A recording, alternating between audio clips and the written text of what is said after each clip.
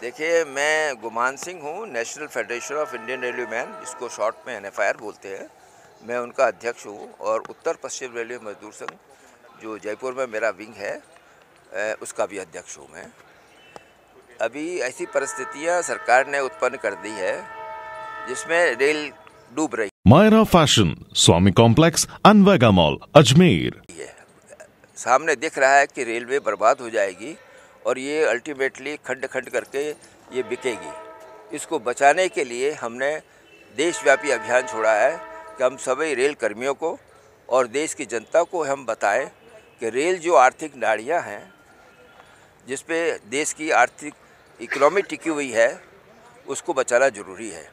नहीं बचाएँगे तो हम रेल कर्मी जो 99 परसेंट को हम रिप्रेजेंट करते हैं, वो दुखित हो जाएगा और साथ में जनता की इकोनॉमी जब डिस्टर्ब होगी तो पूरी जनता सफ़र करेगी। उसको उस दृष्टिकोण से हमने ये आयोजन रखा है और उसमें बहुत सारे डीप में जाने बहुत सारे फैक्टर्स हैं जिसको जिस पे ध्यान देने की ज़रूरत है ऐड करने की ज़रूरत है और रेल को बचाने की ज़रूरत है। इस दृष्टिकोण से हमने ये आयोजन रखा है। कल भी भारत सरकार का पुतला जलाया गया था सात दिन पहले भी हड़ताल हो रही थी उसके बाद भी कुछ संगोष्ठी देखो ऐसा है ये प्रजातांत्रिक व्यवस्था है सरकार को संवेदनशील होना चाहिए। अब ये देश की जनता को ये समझना चाहिए कि गलत नीतियों के विरुद्ध में जनता सड़कों पे चिल्ला रही डेमोक्रेसी के अंदर एंग्विश जो नाराज़गी है या नीतियों के प्रति जनता क्या सोचती है, वो प्रदर्शित करती है। तो गवर्नमेंट को संवेदनशील होना चाहिए, सेंसिटिव होना चाहिए, उसके अनुसार उनकी नीतियों में परिवर्तन लाना चाहिए। यदि नहीं लाती है तो परिस्थिति अपना आप मोड़ लेगी। अभी रेल कर रेल को बचाने की हम जो अभियान छेड़ रहे हैं उस पर सर, सरकार को हम अपना व्यू देंगे। अभी सोलह तारीख को मिनिस्टर के साथ मीटिंग है। हम ये बातें आज सब जब लोगों के व्यूज़ आएँगे उन व्यू को संकलन करके हम रेल मंत्री को बताएँगे। रेल मंत्री यदि परिवर्तन लाते हैं और देश हित में आते हैं देखो हम बहुत अच्छी तरह जानते हैं कि परिवर्तन अटर्नल है। परिवर्तन आता है लेकिन परिवर्तन अच्छे के लिए होना चाहिए।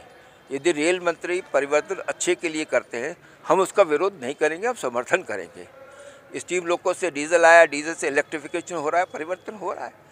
हम विरोध नहीं करते उसका समर्थन करते हैं उसका। से मिलने के बाद भी आपकी मांगे नहीं मानी जाती तो उसके बाद आप तो डायरेक्ट एक्शन फिर हम हड़ताल करेंगे। किसी तरह से समझाना पड़ेगा। हमारा लास्ट वेपन है हड़ताल। यदि वो सरकार नहीं मानती हमारा उद्देश्य हड़ताल नहीं है। उद्देश्य हमारा रेल बचाना और हमारे रेल कर्मियों के हितों की रक्षा करना। देश बचाना। सर्वोपरि देश है, फिर रेल है। और स्वाभाविक रूप से जब रेल और देश स्वस्थ होगा तो हमारा रेल कर्मी भी स्वस्थ रहेगा। तो उद्देश्य हमारा है रेल हित, देश हित रेल कर्मी का हित। सर, आपका मैं गुमान सिंह, प्रेसिडेंट हूँ, national federation of Indian railwaymen का, और उत्तर पश्चिम रेल मजदूर संघ के प्रेसिडेंट कार्यालय स्तर पर रेल मंत्री के अगुवाई में एक परिवर्तन संगोष्ठी किया गया।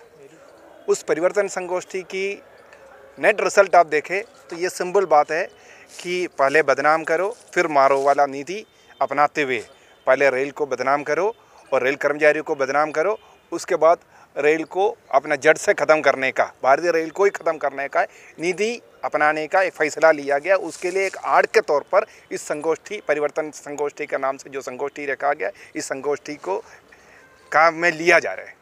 उत्तर पश्चिम रेलवे मजदूर संघ, national federation of Indian railwaymen N के आह्वान पर पूरा देश भर में कर्मचारियों का पार्टिसिपेशन के साथ रेल के सुधार के संबंध में संगोष्ठियाँ किया जा रहा है। इस संगोष्ठियों का नतीजा लेकर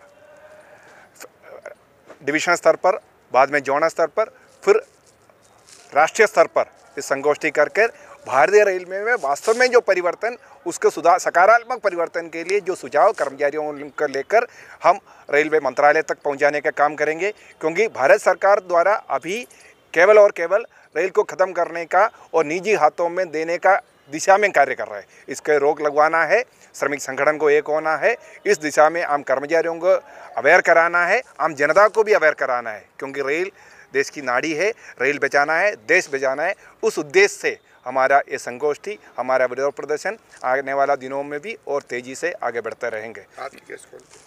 आज कौन आया बाहर से। आज हमारा इस संगोष्ठी में भाग लेने के लिए एनएफआईआर और यूपीआरएमएस के अध्यक्ष आदरणीय गुमायन सिंह जी और महामंत्री यूपीआरएमएस आदरणीय विनोद मेहता जी दोनों पधार चुका है। आम कर्मचारियों से वो इंटरेक्ट कर रहे हैं, उनका सुझाव इस संगोष्ठी के माध्यम से हम लिया जा रहा है। मैं एस आई जैकब, मंडल अध्यक्ष, उत्तर पश्चिम रेलवे मजदूर संघ, अजमेर।